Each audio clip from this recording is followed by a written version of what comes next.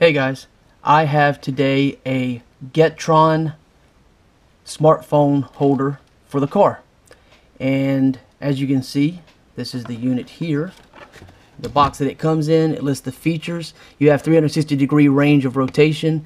Uh, it fits phones from 1.97 inches to 3.94 inches. So it's nice that it's right there on the actual box. Um, so you know. So this is basically the box it comes in. Little picture of the uh, of the item. All right. And if you need to know the model, it is a GT CSH01. Just so you know. All right. It has a nice little manual with it. it has the um, actual website for support on the front. Uh, the indicator of functionality and a diagram on the inside. It has the assembly instructions, which are very straightforward, and basically it has the the uh, do not force it and pull, but it also states that you can wash the sticky substance on the bottom of the suction cup to re-adhere it. It's a little hazy because I've already peeled it off and checked how well it uh, adheres, and it seems to do a very nice job. So if you uh, if you drop it and it gets all dirty, just wash it off start over. All right. So basically when you get this the the part well you can see this piece here just goes right in. I'm not going to disconnect it but basically just push it into the uh, little socket here. It's a little ball ball socket type joint. And you just screw that until it's tight and there you go. And then you can of course move this where you like. The bottom for the suction cup has a nice audible click to it as you heard.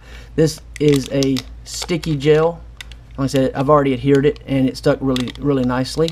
So put that back to protect it and then you just lock that down just like the uh, typical. And of course you could do this upright or you could do this hanging from your window and you have a full range of adjustment with this so you can put this wherever you like.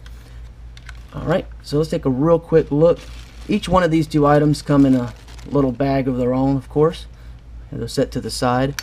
But the cool thing with this you push that button it opens out.